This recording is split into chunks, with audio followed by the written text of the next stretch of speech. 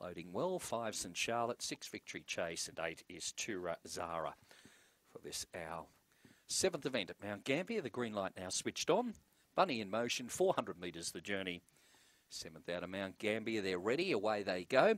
And winning the start, Victory Chase will lead, settling down. Nero Valentino second, Uprise to third, followed by St. Charlotte. Next one is Ton 80, further back to Rosara, and Go Quantum back at the rear, off the back. It's Victory Chase, the one to get. Four in front, Nero Valentino second, followed by Uprise, but up the straight, it's all Victory Chase and scores by five.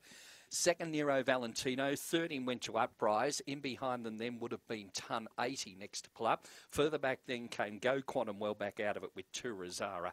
And it was one of the last to pull up with St. Charlotte in there as well. Stand by for placings. 22.80 odd the time recorded here by the winner, number six, Victory Chase. Favourite Never in Danger Ping the boxes led from go to woe. Second placing to two Nero Valentino and third's number four Uprise. Six two four. The uh, placings with number three winding up fourth, ton 80. So six two four three the placings.